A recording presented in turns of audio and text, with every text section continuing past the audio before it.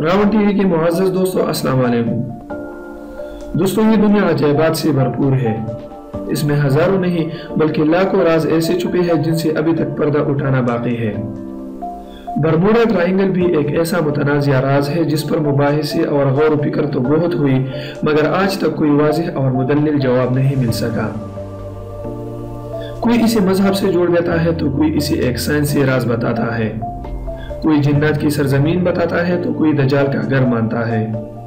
کوئی بس اسے ایک افسانوی جگہ مانتے ہیں۔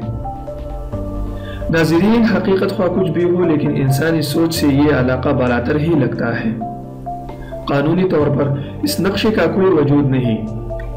مگر برموڈا ٹرائنگل بحر قیانوس کے تین سو جزیروں پر مشتمل ایک علاقہ ہے، جن میں سے اکثر علاقے غیر آباد ہے اور صرف بیس فیصد علاقے پر لوگوں کی آبادی ہے۔ مطلب یہ کہ دو سو اسی جزیرے غیر آباد ہے اور بیس جزیروں پر لوگوں کی آبادی ہے۔ برموڈا ٹرائنگل کا جو علاقہ خطرناک سمجھا جاتا ہے، اس کا شمالی سر جزائر برموڈا، جنوبی مشرقی سر پورٹوریکو اور جنوبی مغربی سر میامی فلوریڈا میں لگا ہوا ہے۔ ناظرین، یہاں یہ بات قابل ذکر اور قابل فکر ہے کہ فلوریڈا کے معنی سائنسدانوں کے مطابق اس شہر کی ہے جس کا انتظار کیا جا رہا ہو۔ اور اس کی اس معنی سے اس نظریے کو تقویت ملتی ہے کہ برموڈا میں ہی دجال قید ہے۔ احادیث کی مختلف کتابوں کے مطابق، دجال وہ فتنہ ہے جو قیامت کی قریب ظاہر ہوگا، جو وہ خود کو خدا کہے گا اور اسے اللہ کی طرف سے بہت طاقت حاصل ہوگی۔ جو وہ چاہے گا، وہ کر سکے گا۔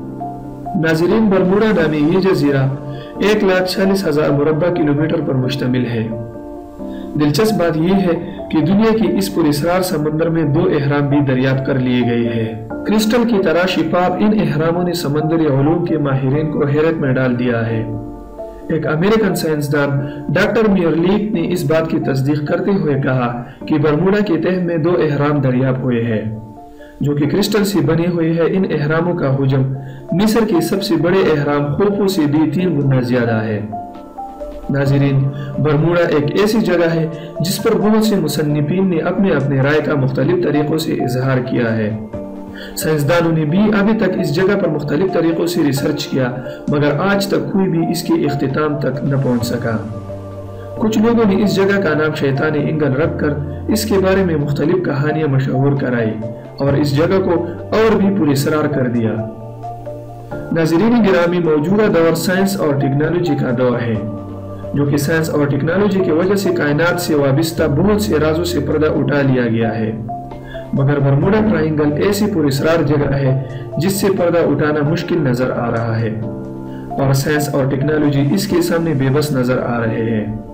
کیونکہ یہاں پر ابھی تک بہت سے بحری اور ہوائی جہاز گم ہو گئے ہیں۔ مگر ان کا کچھ پتہ نہیں چلا۔ اور نہ ان کے کچھ باقاعدہ جات کسی نے ابھی تک معلوم کر لی ہے۔ اور جو بھی اس راز کو معلوم کرنے کے لیے یہاں پر گیا ہے، وہ ابھی تک واپس لوٹ کے نہیں آیا۔